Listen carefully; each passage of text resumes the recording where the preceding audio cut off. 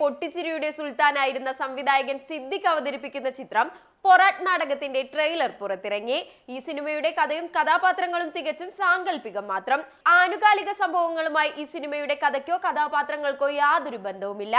അഥവാ അങ്ങനെ തോന്നിയാൽ അത് തികച്ചും യാദൃശ്ചികം മാത്രമെന്ന് കുറിച്ചുകൊണ്ടാണ് സിനിമയുടെ തിരക്കഥാകൃത്ത് സുനീഷ് വരനാട് സോഷ്യൽ മീഡിയയിൽ ടീസർ പങ്കുവച്ചിരിക്കുന്നത്.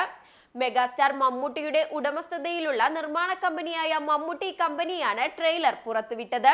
മണിക്കുട്ടിയെയും ഗോപാലപുര എന്ന നാടിനെയും പരിചയപ്പെടുത്തി പൊറാട്ട് നാടകത്തിന്റെ ട്രെയിലർ പുറത്തു വന്നു എന്ന വാർത്തയാണ് ഇപ്പോൾ ശ്രദ്ധേയമാകുന്നത്. അതായത് മണിക്കുട്ടി എന്ന പശുവിന്റെയും അതിന്റെ ഉടമസ്ഥനായ അബുവിന്റെയും കഥയാണ് ചിത്രം പറയുന്നത്.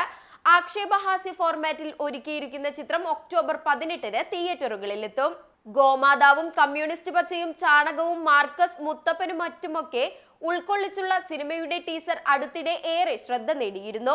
ചിത്രത്തിന് ക്ലീൻ യു സർട്ടിഫിക്കറ്റ് ആണ് സെൻസർ ബോർഡിൽ നിന്നും ലഭിച്ചിരിക്കുന്നത്. പ്രായഭേദമന്യേ ഏവർക്കും ആസ്വദിക്കാനാവുന്ന നല്ലൊരു കുടുംബ ചിത്രമായിരിക്കുമെന്നാണ് ട്രെയിലറിൽ നിന്ന് ലഭിക്കുന്ന സൂചന.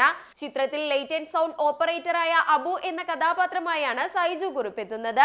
രാഹുൽ മാധവ് ധർമ്മജൻ ബോൾഗാട്ടി രമേശ് പിഷാരടി സുനിൽ സുഗത നിർമ്മൽ പാലാഴി തുടങ്ങിയവരും ചിത്രത്തിൽ അണിനിരക്കുന്നുണ്ട്. എമിറേറ്റ്സ് പ്രൊഡക്ഷൻസിന്റെ ബാനറിൽ വിജയൻ പള്ളിക്കര നിർമ്മിക്കുന്ന പൊറാട്ട് നാടകത്തിന്റെ രചന നിർവഹിക്കുന്നത് മോഹൻലാൽ ഈശോ എന്നീ ചിത്രങ്ങളുടെ തിരക്കഥാകൃത്തും ഈ വർഷത്തെ മികച്ച ഹാസ്യകൃതിക്കുള്ള കേരള സാഹിത്യ അക്കാദമി അവാർഡ് ജേതാവുമായ സുനീഷ് വരനാടാണ്. രാഹുൽ രാജാണ് ഈ ചിത്രത്തിന്റെ സംഗീത സംവിധാനം നിർവഹിച്ചിരിക്കുന്നത്.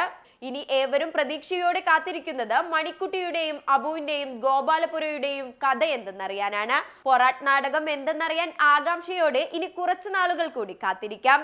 സിനിമാ ലോകത്തെ പുത്തൻ വിശേഷങ്ങളുമായി ചോയ്സ് നെറ്റ്വർക്കിൽ വീണ്ടും കാണാം.